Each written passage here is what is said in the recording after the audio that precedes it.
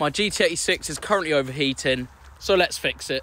It's day 22 of posting every day of 2025. Let's explain the issue.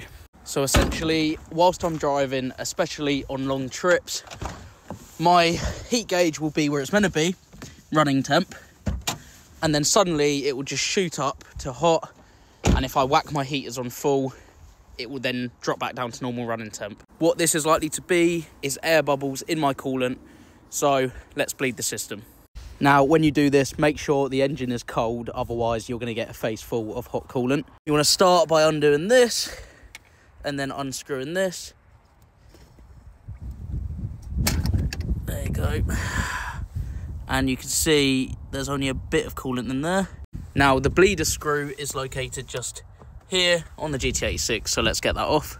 Now we've got this off, we can see that there is, in fact, air bubbles in our coolant, because if there wasn't, coolant would be slowly spilling over this edge. So this is how you bleed it.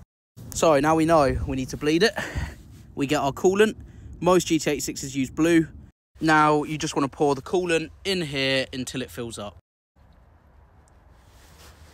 Okay, we've slightly overfilled it, but that's completely fine. Just get a microfiber and clean that up.